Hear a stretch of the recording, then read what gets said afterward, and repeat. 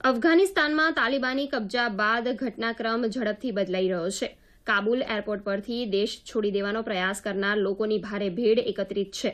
America સહિત અનેક પશ્ચિમી દેશ તેમના રાજદ્વારીઓ, કર્મચારીઓ અને નાગરિકોને પરત લાવવા વિશેષ અભિયાન શરૂ કર્યું છે.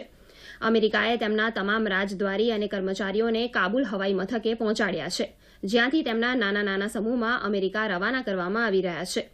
અમેરિકા તેમના નાગરિકોની સુરક્ષા માટે સૈનિકોની તૈનાત કરી રહ્યું છે. હાલમાં અફઘાનિસ્તાનની નવી વહીવટી વ્યવસ્થાની સ્થિતિ સ્પષ્ટ થઈ નથી. પૂર્વ રાષ્ટ્રપતિએ ત્રણ સભ્યોની સમિતિનો પ્રસ્તાવ રાખ્યો છે, જેમાં પોતાના ઉપરાંત અબ્દુલ્લા અબ્દુલ્લા અને ગુલબુદ્દીન ઇતમયારનું નામ સામેલ છે.